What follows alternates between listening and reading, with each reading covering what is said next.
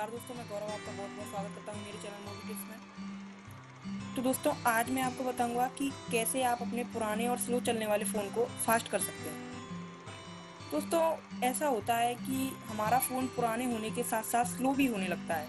जब हम उसे मार्केट से नया परचेज करते हैं तो उसके मुकाबले वो पहले से बहुत स्लो हो चुका होता है। तो इसलिए मैं आपको एक ऐसी आसान सी ट्रिक बताऊँगा, जिससे आप अपने फ़ोन को बहुत फास्ट कर सकते हैं, बिल्कुल न्यू फ़ोन जैसे। तो चलिए चलते हैं। ये मेरा एक पुराना फ़ोन है दोस्तों। देखिए, ये सैमसंग का मेरा एक पुराना फ़ोन है। चलिए चलते हैं, मैं आपको बताता हूँ। इसको मैंने ओपन किया। इसके बाद दोस्तों, इसमें आप सबसे पहले अपने फ़ोन की सेटिंग खोल लीजिए। सेटिंग इसमें दोस्तों आपको सबसे नीचे ये डेवलपर ऑप्शन दिख रहा होगा। अगर आपको ये नहीं दिख रहा है तो अबाउट डिवाइस में जाकर अलग अलग फ़ोन में अलग अलग जगह पर होता है अबाउट डिवाइस इसमें जाकर आपको ये बिल्ड नंबर दिख रहा होगा। आपको इस बिल्ड नंबर पर जल्दी जल्दी सेवन बार क्लिक करना है। इससे आपका डेवलपर मोड ऑन हो जाएगा। फिर आप डेवलपर मोड को ओपन कीजिए।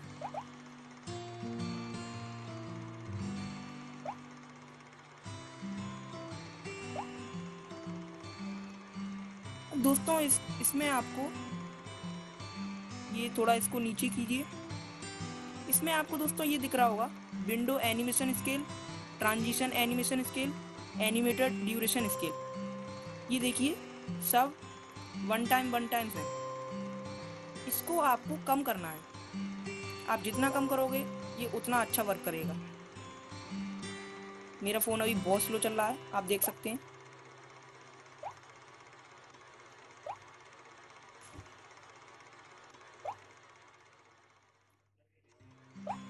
ये देखिए, इसको आप 0.5 करेंगे तो आपका फ़ोन और फास्ट चलेगा।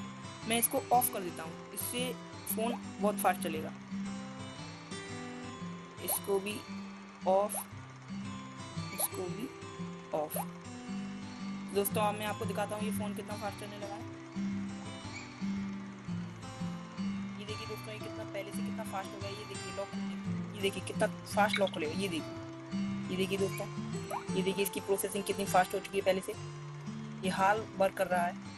पहले ये बहुत ही स्लो वर्क कर रहा था। तो दोस्तों, ये एक ट्रू ट्रिक है। ये एक सच है। इससे आप आप इसे ट्राई करके देख सकते हैं। इससे आपका फ़ोन रियल में आपका फ़ोन फास्ट चलने लगेगा।